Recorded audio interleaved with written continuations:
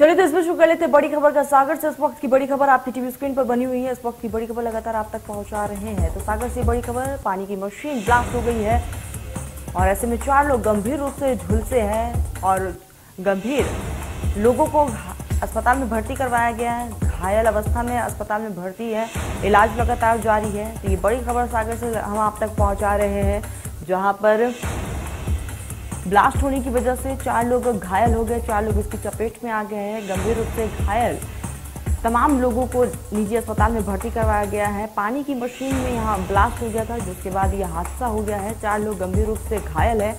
घायलों को निजी अस्पताल में भर्ती करवाया गया है। इलाज लगातार जारी है और फ़िलहाल पुलिस भी आगे की जाँच पड़ताल में जुटी हुई है। तो ये बड़ी खबर सागर से इस वक्त की। चार लोग गंभीर रूप से इस हादसे में झुलसे हैं। घायलों को अस्पताल में भर्ती करवाया गया है। इलाज जारी है और पुलिस भी आगे की जाँच पड़ताल में जुटी हुई है। तो सागर से ये बड़ी खबर है इस वक्त की। लगातार आप तक पहुँचा रहे हैं। पानी की मशीन यहाँ पर ब्लास्ट हो गई थी और इस दरमियान चार लोग इसकी चपेट में आ गए, जो गंभीर रूप से झुलस गए। और घायल अवस्था में चारों लोगों को अस्पताल में भर्ती करवाया गया, जहाँ पर चारों का इलाज लगातार जारी है। तो सागर से बड़ी खबर इस वक्त की लगातार आपकी टीवी स्क्रीन पर बनी हुई है।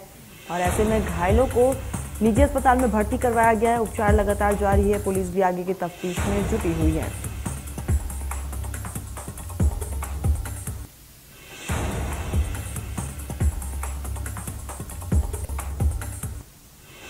तो सागर से बड़ी खबर आपको बता दें कि पानी के मशीन में ब्लास्ट हुआ है, जिसमें चार लोग उसकी चपेट में आने से वो झुलस गए हैं। घायलों को अस्पताल में भर्ती करवाया गया है। इलाज लगातार जारी है तो ये बड़ी खबर इस वक्त की आप तक हम पहुँचा रहे हैं। घायलों को अस्पताल में भर्ती करवाया गया। इलाज जारी है, पुलिस भी आगे की तफ्तीश में जुटी हुई है।